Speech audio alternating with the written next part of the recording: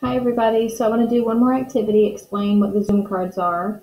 Um, so there are four little boxes, and each day you can just practice reading a different box or card, um, and then just see how many you can get correct, how many, how quickly you can read it, can you read it faster um, the second time than you did the first time. So you could just, these are just um, some blends sn, full, pr, and you just keep going. Um, you can time yourself and each time to see if you get faster going through all of them.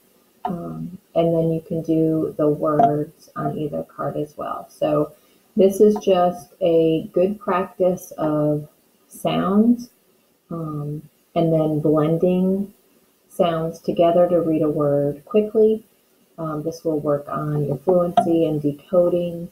So this is just a good activity. You can do it over and over as many times. It doesn't matter if you even continue to use this next week um, into the summer, however you want to do it, use it. So this is just a good little activity to keep practicing um, your sounds and blending words together, and it will help you um, when we read stories, you'll recognize a word, you'll remember the DR together says fur, and then um, drum.